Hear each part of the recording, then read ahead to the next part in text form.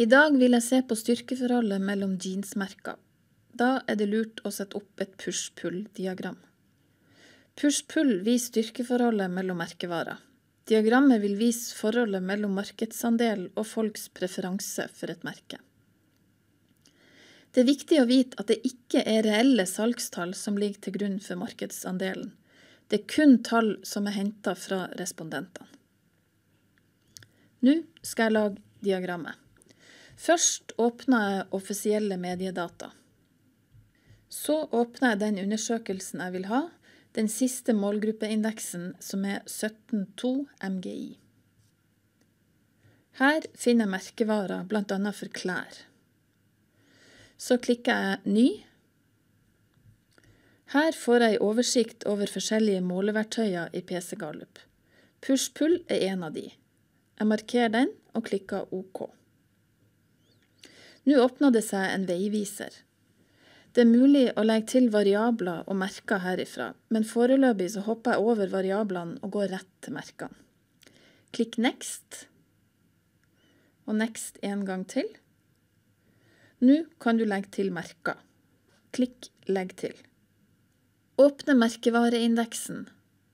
Klikk på kikkerten og søk på klær. Nå får jeg opp ei oversikt over klesmerker. Jeg lukker Finn. Så åpner jeg mappa for klær. Nå kan jeg velge merker. Jeg vil ikke ha alle, jeg vil bare se på enkelte jeansmerker.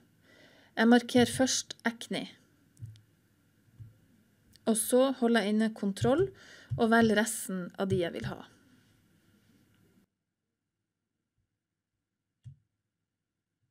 Klikk Finish.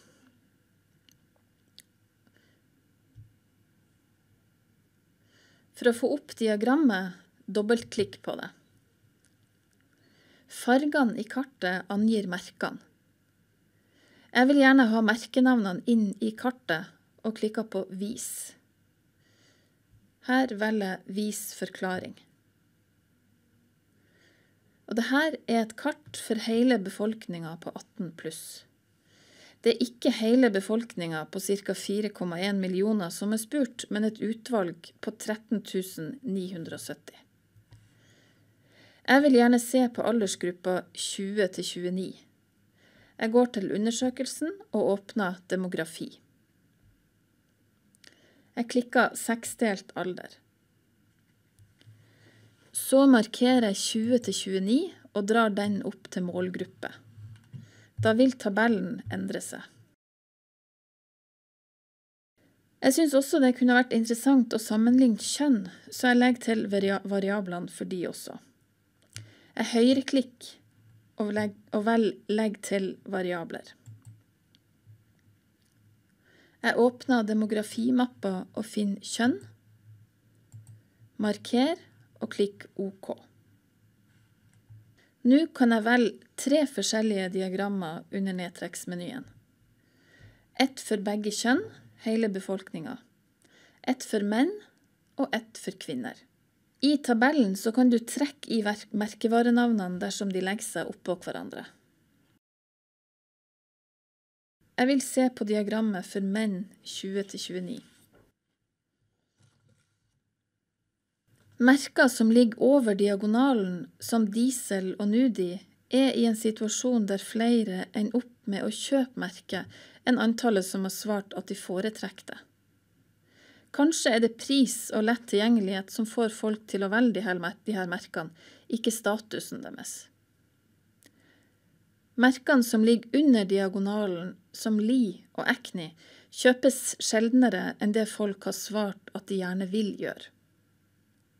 Det er ofte de sterke, gjerne litt eksklusive merkevarene som har den posisjonen. Merker som ligger midt på diagonalen, som Levis, har en utydelig posisjon i markedet i et markedsføringsperspektiv. Det er like mange som ønsker seg Levis, som de som kjøper merket. Hvis en vil se hvordan det har gått med merkene de siste årene, kan jeg legge til data fra tidligere undersøkelser og sammenligne. Jeg høyreklikker og velger 'Legg til organiser trender'. Jeg klikker på ikonet for 'Add trend'. Så krysser jeg ut undersøkelsene jeg vil ha. Her velger jeg 17.2 MGI og 14.2 MGI for å sammenligne 2014 og 2017. Klikk OK. Det kan ta litt tid før tallene kommer opp, så her må jeg ha litt tålmodighet. Her også kan jeg dra i merkevarene for å se all tekst hvis det er noe som legger seg veldig tett på hverandre. I boksen nederst til høyre finner du forklaringa på hvilken undersøkelse som er punkt 1 og 2. Her kan jeg se at Levis har styrka sin markedsandel blant menn 20-29 i løpet av de siste tre årene. Og Li har ikke bare mista markedsandeler, men preferansen for merket har også blitt svekka.